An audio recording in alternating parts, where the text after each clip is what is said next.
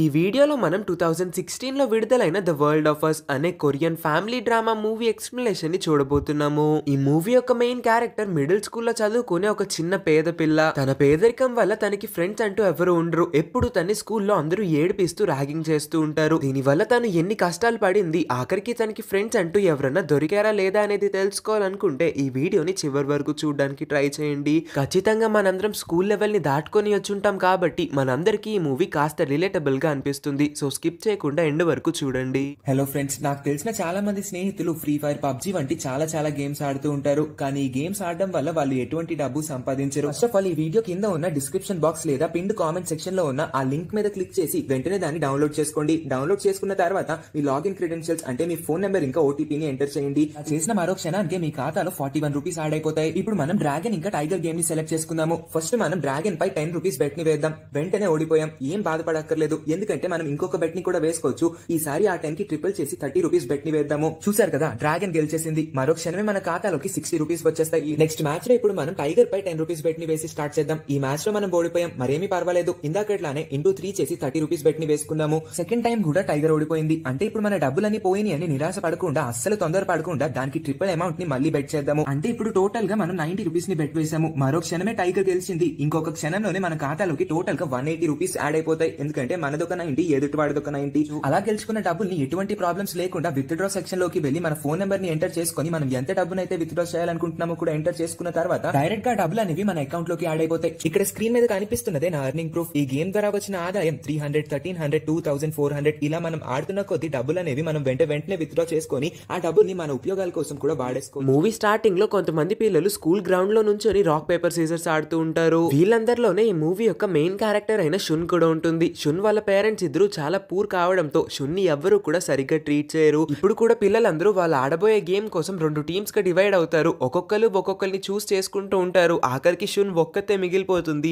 షున్ని మాత్రం రెండు టీమ్స్లో నుంచి ఎవ్వరూ కూడా సెలెక్ట్ చేసుకోరు. దానివల్ల షున్ చాలా బాధపడుతుంది. తను ఎప్పుడు కూడా తనకి ఏదో ఒక రోజు ఒక మంచి ఫ్రెండ్ దొరుకుతుందన్న కలలు కంటూనే ఉంటుంది. కానీ షున్ స్టేటస్ ఆ స్కూల్లో ఉన్న ఏ పిల్లలతోనూ మ్యాచ్ అవ్వట్లేదు కాబట్టి ఎవరికి షున్తో అంత ఈజీగా సెట్ అవ్వట్లేదు. తను తన వైపు నుంచి ఎంతగా ట్రై చేస్తున్నా సరే ప్రతి ఒక్కరు తన మాటల్ని ఇగ్నోర్ చేసి తన్ని కంప్లీట్గా రిజెక్ట్ చేసేస్తారు. క్లాస్ రూమ్లో అందరు అమ్మాయిలు కలిసి కూర్చొని ముచ్చట్లు పెట్టుకుంటారు. కానీ శున్ని మాత్రం ఎవ్వరు జాయిన్ చేసుకోరు. తను ఒక మూల కూర్చొని ఒంటరిగా బాధపడుతూ ఉంటుంది. వాళ్ళ క్లాస్ రూమ్లో ఉండే మోస్ట్ పాపులర్ అమ్మాయి పేరు బోరా. బోరా వాళ్ళ ఫ్యామిలీ చాలా రిచ్. ఇంకా తను బాగా చదువుతుంది కూడా. తను షున్తో తప్ప క్లాస్ రూమ్లో ఉన్న మిగిలిన స్టూడెంట్స్ అందరితో కూడా చాలా బాగా నడుచుకుంటుంది. నెక్స్ట్ డే బోరా బర్త్డే అయి ఉంటుంది. కాకపోతే రేపు క్లాస్ రూమ్ని క్లీన్ చేయాల్సింది కూడా బోరానే కాబట్టి బోరాకి వేరే దారి కనిపించక శున్ని అప్రోచ్ అయ్యి రేపు తన బదులు షున్ గనుక క్లాస్ రూమ్ మొత్తాన్ని క్లీన్ చేసేసిందంటే తను ఖచ్చితంగా బోరా బర్త్డే పార్టీకి రావచ్చని చెప్పంగానే షున్ చాలా హ్యాపీగా ఫీల్ అవుతుంది. షున్ ఇంట్లో తన తమ్ముడు వాళ్ళ మమ్మీ ఇంకా వాళ్ళ నాన్నతో కలిసి నివసిస్తూ ఉంటుంది. వాళ్ళ ఇల్లు చాలా చిన్నది ఇంకా వాళ్ళ నాన్న ఒక పెద్ద తాగుబోతూ.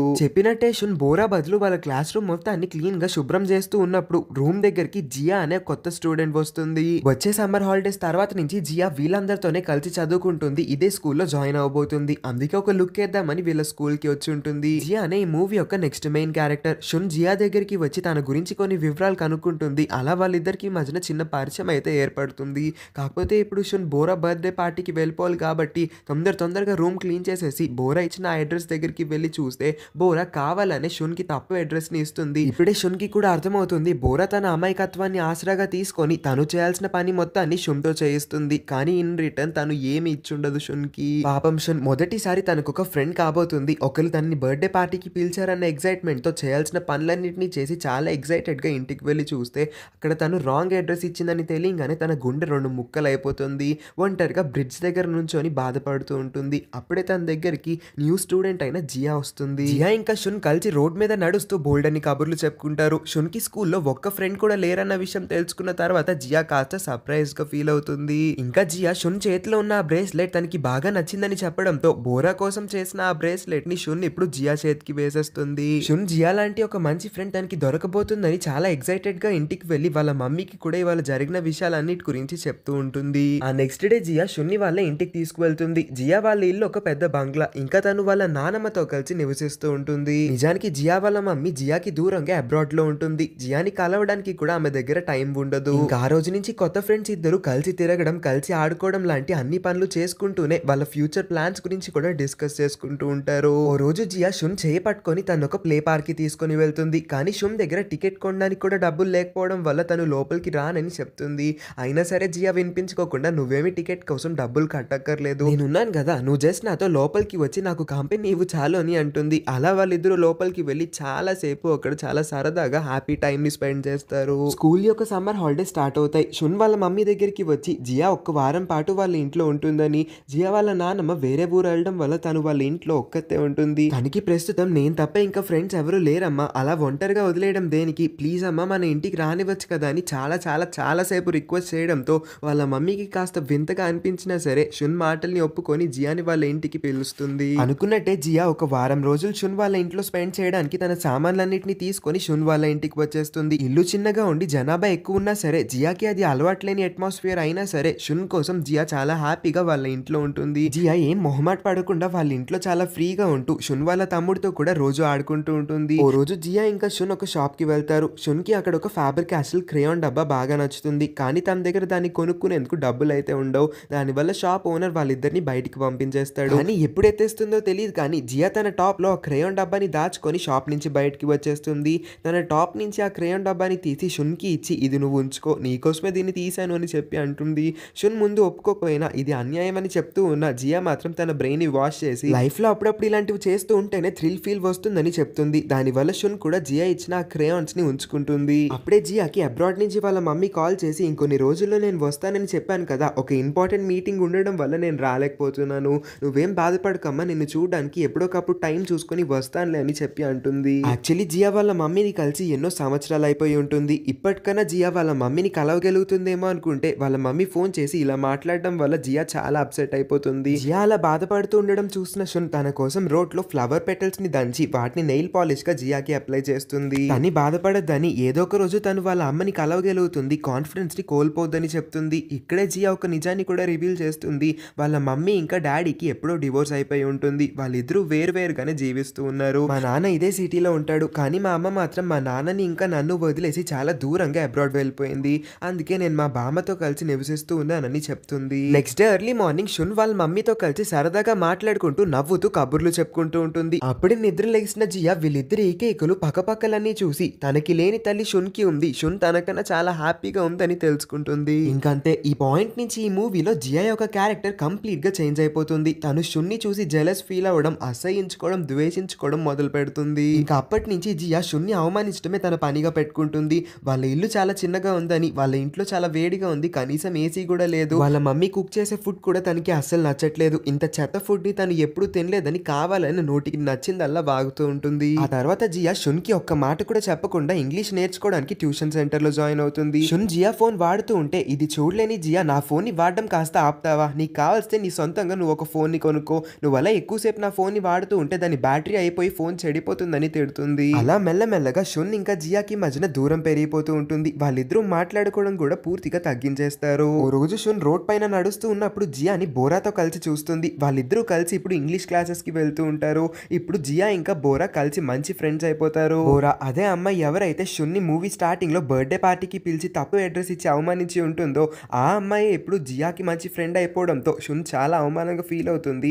చాలా చాలా బాధపడుతుంది కూడా. షున్ వాళ్ళ తాతయ్యకి ఆరోగ్యం బాగోక హాస్పిటల్లో అడ్మిట్ చేస్తారు. అయినా కూడా షున్ వాళ్ళ నాన్న అతని తండ్రిని చూడడానికి హాస్పిటల్కి రాడు ఈగో ఇష్యూస్ వల్ల. ఇదే పాయింట్లో షున్ వాళ్ళ మమ్మీని కొత్త ఫోన్ కొనమని కూడా అడుగుతుంది. కాకపోతే వాళ్ళ మమ్మీ దగ్గర ఇప్పుడు అంత డబ్బులు లేకపోవడంతో షున్కి అర్థమయ్యేలా చెప్తుంది. షున్ దాని వల్ల ఇంకాస్త అప్సెట్ అవుతుంది. హాలిడేస్ పూర్తయిపోతాయి. జియా తన ఫస్ట్ డే స్కూల్కి చాలా ఎక్సైటెడ్గా వస్తుంది. టీచర్ తన్ని అందరు స్టూడెంట్స్కి ఇంట్రడ్యూస్ చేస్తారు. షున్ తనకి జరిగినవన్నీ మర్చిపోయి చిరునవ్వుతో జియాకి హాయ్ చెప్తుంది. కానీ జియా కావాలనే షున్ని ఇగ్నోర్ చేసి పక్కనే ఉన్న బోరాకి హాయ్ చెప్తుంది. చాలా తక్కువ టైంలోనే తనకి బెస్ట్ ఫ్రెండ్ అయిన ఆ అమ్మాయి అంతే తక్కువ టైంలో తనకి ఇలా నమ్మక ద్రోహం చేస్తుందని ఏ రోజు షున్ ఎక్స్పెక్ట్ చేసి ఉండదు. లంచ్ టైంలో బోరా ఇంకా తన ఫ్రెండ్స్ అందరూ కలిసి కూర్చొని జియా యొక్క బర్త్డేని ఎక్కడ ఎంత గ్రాండ్గా సెలబ్రేట్ చేయాలన్న దాని గురించి మాట్లాడుకుంటూ ఉంటారు. జియా తనకి మంచి ఫ్రెండే కాబట్టి కనీసం జియా అన్న తన్ని తన బర్త్డే కి ఇన్వైట్ చేస్తుందేమో అని షున్ ఎక్స్పెక్ట్ చేస్తుంది. అలా మాట్లాడుకుంటున్న అమ్మాయిల గ్యాంగ్ దగ్గరికి షున్ వెళ్ళి కూర్చుంటే వాళ్ళందరూ ఇమీడియట్గా అక్కడి నుంచి లెగిసి కోపంగా వెళ్ళిపోతారు. షున్ ఇంటికి వెళ్ళి వాళ్ళ మమ్మీకి తెలియకుండా వాళ్ళ మమ్మీ సేవింగ్స్ నుంచి కొంత డబ్బుని దొంగలించి జియా కోసం ఒక కాస్ట్లీ గిఫ్ట్ని తీసుకొని వస్తుంది. జియా ముందు ఆ గిఫ్ట్ని స్వీకరించకపోయినా షున్ కాస్త ఎక్కువగా బలవంత పెట్టేయడంతో జియా తప్పనిసరి పరిస్థితిలో ఆ గిఫ్ట్ని తీసుకోవాల్సి ఉంటుంది. షున్ జియాకి ఆ గిఫ్ట్ని ఇచ్చిన తర్వాత హ్యాపీ బర్త్డే చెప్పి తన్ని పార్క్కి కలిసి ఆడుకోవడానికి చూడడానికి రమ్మని ఇన్వైట్ చేస్తుంది.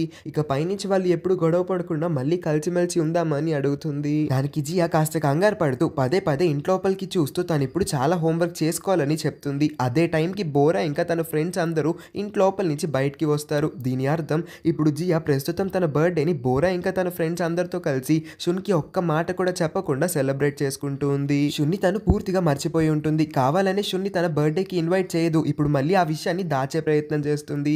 దీనివల్ల షున్ చాలా బాధపడుతూ ఇంటికి వెళ్తుంది. అటువైపు నుంచి వాళ్ళ మమ్మీ తన డబ్బుని షున్ దొంగిలించినందుకు షున్ని బాగా తిడుతుంది. ఆ రోజు జియా షాప్లో కొట్టేసిన ఫ్యాబర్ క్యాస్టిల్ క్రేయోన్ డబ్బాని ఇప్పుడు షున్ నుంచి జియా బలవంతంగా తీసేసుకుంటుంది. ఆ సాయంత్రం జియా వాళ్ళ నానమ్మ షున్ ఇంటికి వచ్చి షున్ వాళ్ళ మమ్మీతో షున్ని కూడా జియాతో కలిసి ఇంగ్లీష్ ట్యూషన్ సెంటర్కి పంపించవచ్చు కదా అని అడుగుతుంది. అంటే జియా ఒక్కతే వెళ్ళడం కన్నా జియాతో కలిసి షున్ కూడా తోడుగా వెళ్తే వాళ్ళిద్దరూ వెళ్ళేటప్పుడు వచ్చేటప్పుడు ఒంటరితనాన్ని ఫేస్ చేయకుండా కలిసిమెలిసి ఉంటారు కదా అని బామ్మ ఆలోచిస్తుంది. దారిలో జియా వాళ్ళ నానమ్మ నానమ్మని కలవడానికి తన కొడుకు. అంటే జియా వాళ్ళ నాన్న ఇంకా తన కొత్త వైఫ్ కూడా అక్కడికి వస్తారు. అంటే వాళ్ళ నాన్న చాలా తొందరగానే రెండో పెళ్ళి కూడా చేసేసుకుంటాడు. ఇప్పుడు లెక్క ప్రకారం జియా తల్లి కొత్త అమ్మాయి అవుతుంది. నెక్స్ట్ డే పార్క్లో జియా పక్కన కూర్చొని మీ కొత్త అమ్మాయి ఎలా ఉందని క్యాజువల్గా అడుగుతుంది. కానీ జియాకి ఆ మాటలు కొంచెం రూట్గా అనిపించడంతో వెంటనే తను ఆఫర్ చేస్తున్న ఫుడ్ని కూడా కిందకి ఇసిరేసి నా కొత్త అమ్మ గురించి నీకెందుకు? అవన్నీ అడగాల్సిన అవసరం నీకు లేదనుకుంటా. ఇక పైనుంచి నా పర్సనల్ విషయాల్లో తల దూర్చాలని అస్సలు ఆలోచించద్దు. అయినా నువ్వు అడిగిన ప్రతి క్వశ్చన్కి నేనెందుకు సమాధానం చెప్పాలి? నీకు బాగా ఎక్కువ అవుతుందని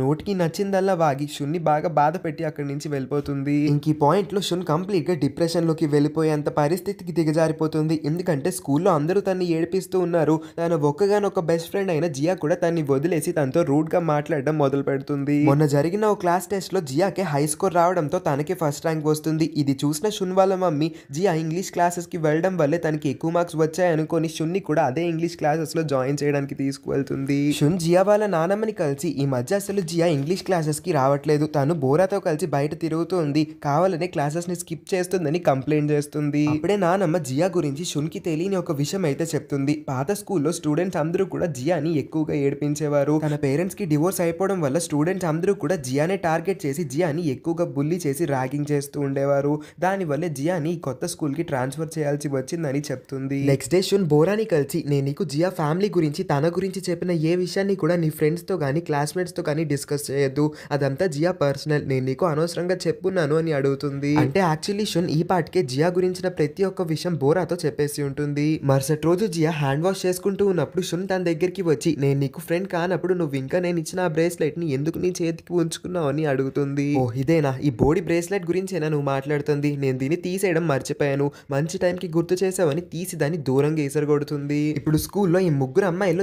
ఎవరితోనూ ఎవరికి అస్సలు పడట్లేదు. బోరా ఇంకా జియాకి మధ్యన కూడా గొడవలు జరుగుతూ ఉన్నాయి. జియా వాళ్ళ క్లాస్కి ఎంటర్ అయిన తర్వాత నుంచి బోరాకి ఫస్ట్ ర్యాంకే రావట్లేదు. తన ఫస్ట్ ర్యాంక్ని జియా కొట్టేస్తుంది కాబట్టి బోరాకి మెల్లమెల్లగా జియాపై కోపం పెరిగిపోతూ ఉంటుంది. ఇవాళ బోరా జియా దగ్గరికి వచ్చి నా పెన్ని నువ్వే కొట్టేసుంటావు. మర్యాదగా నా పెన్ని నాకు తిరిగి ఇచ్చి అది చాలా కాస్ట్లీ అని వాదిస్తూ ఉంటుంది. కానీ జియా అసలు తన పెన్ని తీసే ఉండదు. ఇక్కడే మనకి అర్థమవుతుంది. ఆ రోజు జియా షాప్ నుంచి క్రేయోన్ డబ్బాని కొట్టేసిందన్న విషయం షున్ బోరాతో చెప్పేసి ఉంటుంది.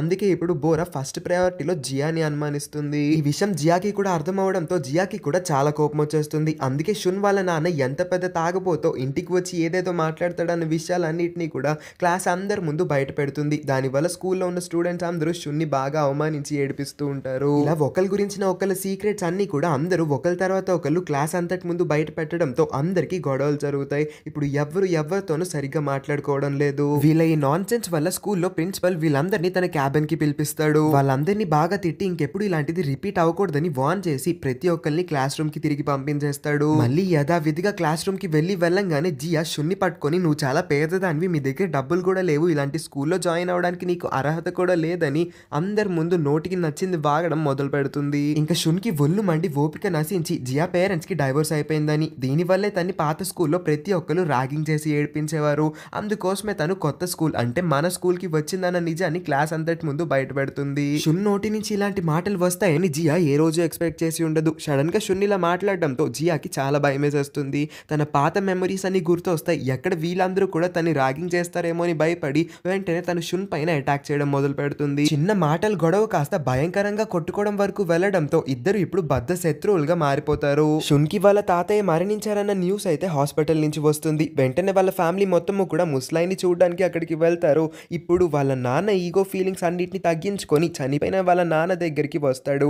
కానీ ఏం ప్రయోజనం లేదు. బ్రతికున్నంత కాలం అతను వాళ్ళ నాన్నతో మాట్లాడడానికి నిరాకరించాడు. కానీ చనిపోయిన తర్వాతే తను వాళ్ళ నాన్న యొక్క వాల్యూని తెలుసుకున్నాడు. కానీ ఇప్పుడు ఎటువంటి ఉపయోగం లేకుండా పోయింది. సో బ్రతికున్నంత కాలం మనం ఇష్టపడుతున్న వాళ్ళని ప్రేమించాలన్న విషయం ఈ ఇన్సిడెంట్ తర్వాత షున్ క్లియర్గా అర్థం చేసుకోగలుగుతుంది. అందుకే నెక్స్ట్ డే స్కూల్ ప్లే గ్రౌండ్లో జియాని అందరూ అవుట్ కాకపోయినా అవుట్ అని ఏడ్పిస్తూ ఉండడంతో షున్ మాత్రమే తనకి సపోర్ట్ చేస్తుంది. తన వైపు మాట్లాడుతుంది. అయినా సరే జియా తనతో ఒక్క మాట కూడా మాట్లాడుకోకుండా మోహన్ తిప్పుకొని అక్కడి నుంచి వెళ్ళిపోతుంది. ఇంక ఇప్పుడు స్కూల్లో జియాకి కూడా షున్ గతే పడుతుంది. అందరూ ఒకప్పుడు షున్ని ఎంతలా ర్యాగింగ్ చేసేవారో ఇప్పుడు జియాని కూడా అంతలానే ఏడిపిస్తూ ఉంటారు. ఈ మూవీ యొక్క లాస్ట్ సీన్లో జియా ఇంకా షున్ ఇద్దరు కూడా పక్క పక్కనే నుంచుంటారు కానీ ఒకరితో ఒకళ్ళు ఒక్క మాట కూడా మాట్లాడుకోరు.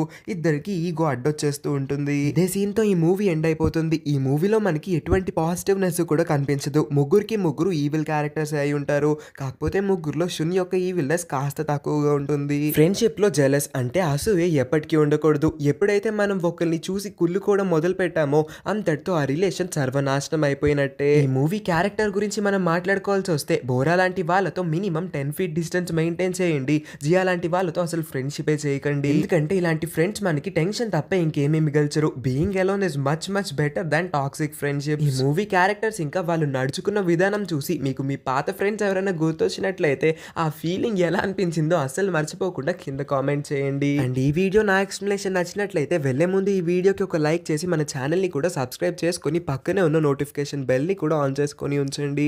అప్పుడే మేము పెట్టే ప్రతి వీడియోని మీరు మిస్ అవ్వకుండా చూడగలుగుతారు. ఇంకా మన ఛానల్లో ఉన్న మిగతా వీడియోస్ని కూడా చెక్ చేయడానికి ట్రై చేయండి. Thank you for watching